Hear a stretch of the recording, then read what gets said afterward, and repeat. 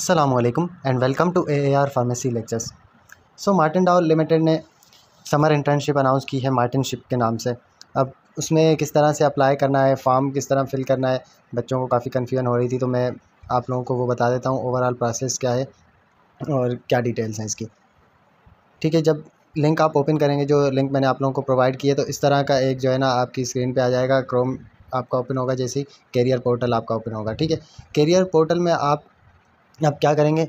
अपना user name और password डाल के साइन इन कर सकते हैं, जिनका ऑलरेडी अकाउंट बना हुआ है। मार्टिन डाओ का अगर कभी भी आपने अकाउंट बनाया हुआ है पहले से तो सिंपली अपना जो है ना यूज़र नेम वो मतलब सी एन आई सी डालेंगे और पासवर्ड साइन इन कर लेंगे। मगर मोस्ट ऑफ़ द बच्चे जो हैं, उनका अकाउंट नहीं बना हुआ। आप लोगों ने अभी पहली बार जो है मार्टिन डाओ के लिए लॉगिन करना है। तो फिर आप क्रिएट प्रोफ़ाइल के ऑप्शन पे क्लिक करेंगे। ठीक है क्रिएट प्रोफ़ाइल पे आप जैसे ही जाएँगे तो आपके पास सेम वही ऑप्शन आ जाएगा यूज़र नेम पासवर्ड और पासवर्ड रिकन्फर्म करना है आपने। ठीक है यूज़र नेम में अपना C N I C number आप इंटर करेंगे। अब सी एन आई सी नंबर जो आपने इंटर करना है ना, वो विथ डैश करना है। डैश नहीं डालेंगे तो आपका सी एन आई सी प्रॉपर नहीं होगा, वो बता रहा होगा कि it must be fifteen digits तो पंद्रह डिजिट तभी पूरे होंगे जब आप उसमें डैश भी डालेंगे साथ। तो सी एन आई सी नंबर लगा लें अपना। C N I C number के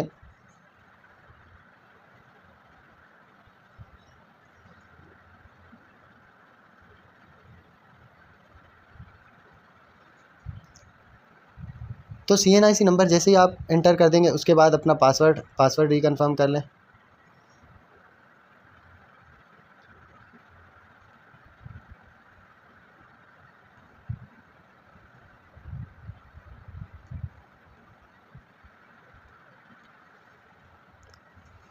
अब पासवर्ड ऐसा होना चाहिए कि उसमें जो है एक कैपिटल लेटर भी हो, एक जो है नंबर भी हो, वन, टू, थ्री में से कोई भी और साथ में जो है एक हमारे पास सिंबल भी हो, कोई भी सिंबल लगा सकते हैं हम। तो तीनों चीज़ें लाजमी होनी चाहिए। मींस लेटर है तो एक कैपिटल लेटर भी होना चाहिए, फिर साथ में जो है उसमें नंबर भी हो और सिंबल भी हो। जब पासवर्ड आप अपना इंटर कर लेंगे तो उसके बाद रजिस्टर पे क्लिक कर दें। रजिस्टर के बाद जो है आपका अकाउंट क्रिएट हो जाएगा। ठीक है तो जैसे ही आपका अकाउंट क्रिएट हो जाएगा तो इस तरह का फिर से आपका कैरियर पोर्टल ओपन होगा, जहाँ पे वेलकम वगैरह और ये सारी आ रही होंगी, जहाँ पे आपको अपनी प्रोफ़ाइल अपडेट करनी है। ठीक है, अब अगर हम इसकी डिटेल्स देखें थोड़ी मार्टनशिप की, कि ये क्या है और इसकी क्या डिटेल्स हैं किन के लिए कौन कौन लोग अप्लाई कर सकते हैं इसमें।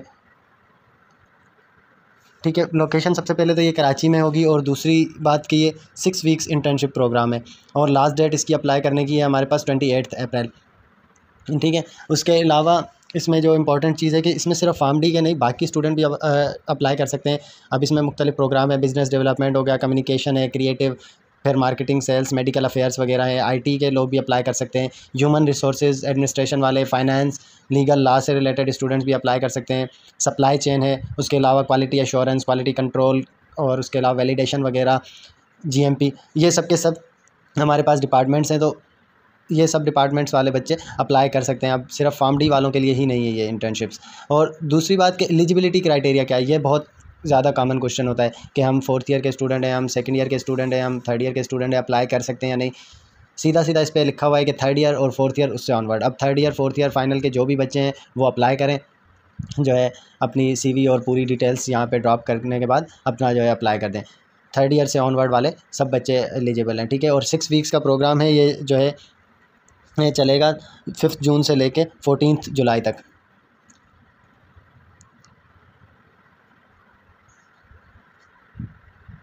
अब अगर हम वापस वेलकम नोट पे वहीं जाएँ, जहाँ से हमने प्रोफ़ाइल अपडेट करनी थी, ठीक है? प्रोफ़ाइल अपडेट करेंगे। अब प्रोफ़ाइल अपडेट में सबसे पहले माई इन्फॉर्मेशन में आप सिलेक्ट कर लेंगे आपको कहाँ से पता चला कंपेड आएगा। उसके अलावा जो है आप अपना नेम इंटर कर दें।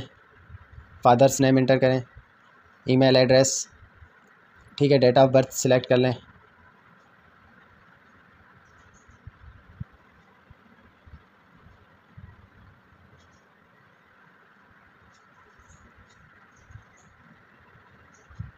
बाकी जेंडर अपना चेंज कर लें, अगर फ़ीमेल है और अपना मैरिटल स्टेटस वगैरह ये सिलेक्ट करने के बाद एड्रेस अगर देना चाहें तो इंटर कर दें अदरवाइज़ एड्रेस की इतनी कोई ख़ास ज़रूरत नहीं है। सिटी अपना सिलेक्ट कर लें। ठीक है सिटी सेलेक्ट करने के बाद फ़ोन नंबर अब एप्लीकेशन क्वेश्चन में जो ये पूछ रहा है अर्लीस्ट अवेलेबिलिटी अर्लीस्ट अवेलेबिलिटी जो अभी फ्री हैं, वो तो अब आज की ही डेट से अप्रैल ट्वेंटी फ़र्स्ट कर दें, या जब भी आप अप्लाई कर रहे हैं, वही डेट कर दें अर्लीस्ट अवेलेबिलिटी में। अदरवाइज़ अगर आपके, आपको पता है एग्ज़ाम्स हैं एग्ज़ाम्स के बाद फ्री हो रहे हैं कुछ बच्चों के, जैसे अभी मई में एग्ज़ाम्स होंगे यूनिवर्सिटीज़ में तो वो जो है फिर अपने एग्ज़ाम्स की जहाँ पे एक्सपेक्टेड डेट पता है कि यहाँ से फ़ाइनल एग्ज़ाम है तो उसके बाद जो है, वो वहाँ से सिलेक्ट कर लें कि ये हमारी एक्सपेक्टेड डेट है, इससे हम अवेलेबल हैं। मई के एंड में हो रहा है, मई के मिड में हो रहे हैं, जहाँ भी आपके एग्ज़ाम्स एंड हो रहे हैं, वो आप जो है अर्लीस्ट अवेलेबिलिटी में कर दें। एक्सपेक्टेड सैलरी भी डालने की कोई ज़रूरत नहीं। इसके बाद are you willing to relocate इसमें येस कर दें कि अगर वो आपको रीलोकेट करना चाहें कराची के बजाय तो आप मिलेंगे ये कर दें येस और दोनों येस करने के बाद save and continue save and continue करेंगे तो सेकंड आपके पास एक्सपीरियंस आएगा। एक्सपीरियंस अगर कहीं आपने कोई काम किया हुआ है, ठीक है तो वो इंटर कर दें। अदरवाइज़ ऐसा है कि एक्सपीरियंस की इन्फॉर्मेशन आपके पास नहीं है। किसी जो है आपने हॉस्पिटल में काम किया है, कहीं और इंटर्नशिप्स वगैरह की है इंडस्ट्री में तो वो आप इंटर कर सकते हैं और उनकी कोई अटैचमेंट भी हो आपके पास तो वो आप डाल के और सेलेक्ट कर लें। फिर उसके बाद माई एजुकेशन एजुकेशन में जो है आप अपनी एजुकेशन प्रोवाइड करेंगे। फार्म डी है, आपने की और या जो भी आपकी फ़ील्ड है वो ऑप्शन जाके सेलेक्ट करें और सारी जो है इन्फॉर्मेशन उससे रिलेटेड प्रोवाइड कर दें।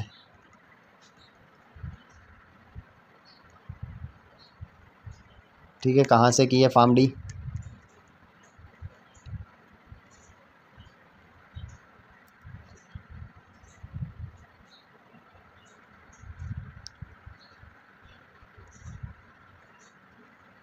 अगर फ़ाइल अटैच करना चाहें तो आपकी जो है मार्कशीट वगैरह अटैच कर दें अदरवाइज़ नहीं भी अटैच करेंगे तो इसकी कोई जो है ज़रूरत नहीं है। सेव करें। सेव करने के बाद दोबारा आएँगे तो। ग्रेड में आप जो है अपनी सी जी पी ए मैंशन कर दें और सेव कर लें। सेव करने के बाद नीचे आएँगे तो आपकी जो है ना ये एजुकेशन ऐड हुई होगी, उसके बाद आप इसको कंटिन्यू कर दें। कंटिन्यू करेंगे तो फिर नेक्स्ट आपके पास कॉम्पिटेंसीज़ आएँगी। कॉम्पिटेंसीज़ में आप अपनी जो है ना स्किल्स डाल सकते हैं, कोई भी दो तीन स्किल्स इनमें से सिलेक्ट की। वो सेव करेंगे। और कोई सर्टिफिकेशन वगैरह आपने की हुई है, कोई कोर्सेज़ तो वो सर्टिफिकेशन भी आप जो है इसमें मेंशन कर सकते हैं कि कौन सा आपने सर्टिफिकेट लिया हुआ है। ये सेव करने के बाद फिर कंटिन्यू करें नेक्स्ट नेक्स्ट जब आप कंटिन्यू करेंगे तो लास्ट में रिज्यूमे का ऑप्शन आएगा। रिज्यूमे के लिए अपनी जो है ना सिलेक्ट करें।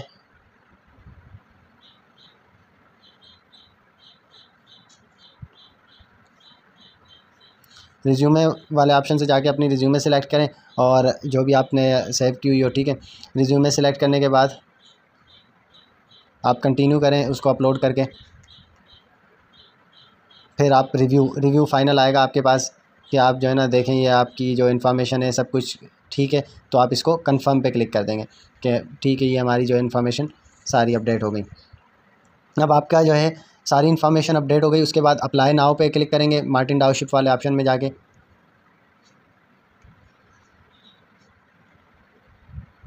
ठीक है, अब अप्लाई नाव में अगर आपके पास ये प्रॉब्लम आ रहा है तो आप दूसरे ब्राउज़र से सिलेक्ट कर सकते हैं। ठीक है? इन द एंड आप जो है, जब आपकी प्रोफ़ाइल कम्प्लीटली अपडेट हो गई तो मार्टिनशिप 2023 वाले ऑप्शन में जाके अप्लाई नाव पे क्लिक करेंगे। अप्लाई नाव पे जब आप क्लिक करेंगे तो आपके पास ये ऑप्शन आ जाएगा। इसमें जो है आप रिलेवेंट एक्सपीरियंस ज़ीरो से वन ईयर सिलेक्ट कर लें। और अगर किसी का वन ईयर से ज़्यादा का एक्सपीरियंस है तो वो उसके अकॉर्डिंगली सिलेक्ट करें और जो है, उसके बाद apply for this job click कर दें। Apply for this job click करेंगे तो are you sure you want to apply का ऑप्शन आएगा। इसमें हम ओके प्रेस कर देंगे तो वो सबमिट हो जाएगा आपकी एप्लीकेशन तो मुझे इसके लिए अप्लाई नहीं करना तो इसलिए मैं कैंसिल कर रहा हूँ। बस अब ये लास्ट स्टेप है, जैसे ही आप ये करेंगे तो आपका यहाँ पे फॉर्म सिलेक्ट होके और सबमिट हो जाएगा। बहुत शुक्रिया। फ़र्दर आपको फिर भी इसमें कोई कन्फ्यूज़न हो, कुछ समझ नहीं आ रहा तो आप लोग मुझसे पूछ लीजिए।